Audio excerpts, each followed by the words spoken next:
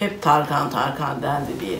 Yani programlara katılmaması falan onu bir star yaptı bence.